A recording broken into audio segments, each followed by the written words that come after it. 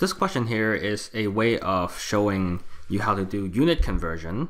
This particular unit conversion with changing meter per second into kilometers an hour is fairly important in the sense that in physics we'll use that quite a bit. So it's good to get that down. But in general, this will show you how to convert between different units and the procedure is all the same.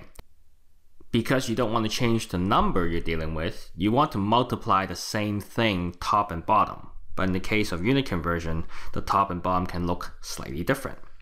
So we have one meter per second, and we have to multiply by something that has the same thing top and bottom. To get rid of the meter, we'll have meter underneath, and because one kilometer is in the end, we'll put kilometers on top. To make sure they're the same top and bottom, one kilometer is the same as 1,000 meters. Okay, so that's the meter taken care of. Then we want to change seconds into hours. So we have seconds on top and hours on the bottom as we want in the end.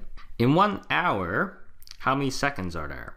Well, if we're not super familiar with this, we can actually do an intermediate step and introduce minutes first. So we know there are 60 minutes in one hour. And on top of that, there's another 60 second in a minute. So the minutes cancel out, the seconds cancel out, just like in algebra. Now that the units are correct, we put this through the calculator and we'll get 3.6 kilometers an hour, just as we expect.